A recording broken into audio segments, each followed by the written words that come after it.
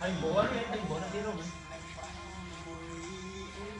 là cái đó thiếu bao đọc ý